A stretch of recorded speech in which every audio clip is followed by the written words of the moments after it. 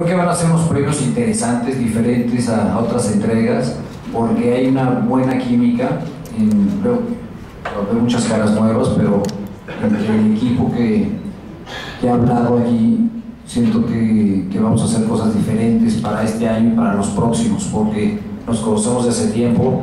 Con Fernando pues hemos hecho este, los últimos, todas, ¿no? Las últimas, las últimas cinco.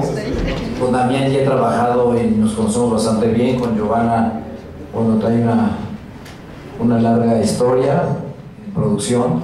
Entonces creo que, que van a resultar unos premios diferentes. Vamos a hacer una alfombra roja que es la más grande que habíamos hecho, en, más grande que la que se había hecho en pasadas entregas.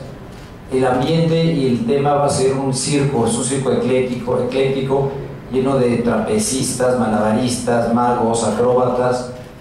Y el elenco, pues ya lo, lo, confirmó Damián, pero también estamos todavía en esta semana y, la siguiente cerrando algunos nombres que se los daremos a conocer a través de, los medios y a través de, del canal.